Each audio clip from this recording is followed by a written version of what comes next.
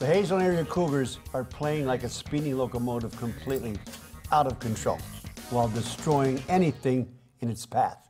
Hi, everybody, on this middle of the month, St. Patrick's Day Eve short shots. Stormy Daniels might be picking up much momentum, but not as much as the Wilkes Cougars. I mean, Hazel area Cougars, of course, who wore Wilkes uniforms on Wednesday night.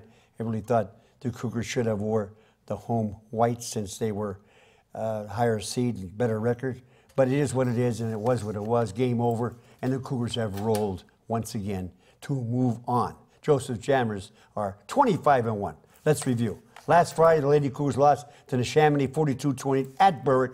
Marissa Tribal Peace and Maddie Morocco each tallied seven points, but it wasn't until the final three minutes that Morocco's three got her to the 1,000 point milestone. Gabriel's Gals ended their season at 15 and 10. Also on Saturday in Hershey, Shane Noonan of Hazel ended his junior season just one win away from a state medal. But what a terrific season he had at Hazel area. Then on Saturday evening, also at Berwick, the Cougars played a tremendous game against Norristown while winning by 17. Four starters were in doubles, led by Joey Grulis, 19, before another great Hazleton crowd. Same day, the Weatherly Lady Wreckers lost a toughie against Christian Academy, scoring the game's final 10 points to win 49-43, despite Emily Zoshin's 20 points in a losing effort. Weatherly finished their campaign at 16-9 with a district title, their first crown of any kind in 32 years. Then, of course, on Wednesday, the Cougars kept rolling by defeating Pocono Mountain West 69-50. Jeff Blunos led the way with 21 and Demir Faison added 17, but it was Sparky Wilk who provided the spark that tied that victory altogether with a great floor game and 10 points.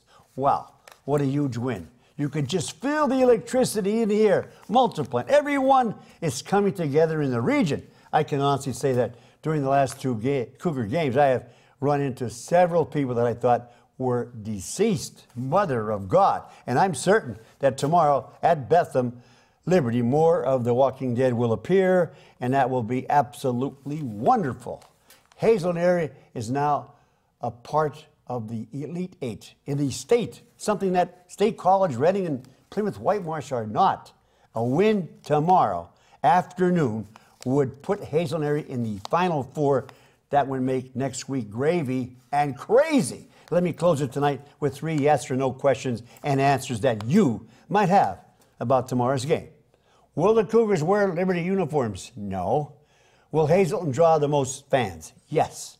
Will the game be on TV? Yes. Enjoy March Madness. Till Monday, be a good sport. Stay loose and happy St. Patrick's Day, everybody. Good luck, Cougars.